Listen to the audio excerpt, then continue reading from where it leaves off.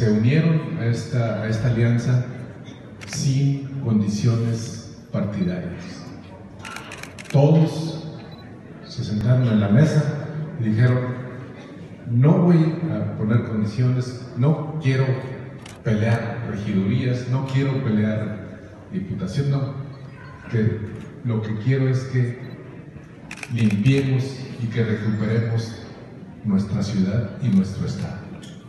Esa fue la condición que pusieron, que encabecemos esta cruzada.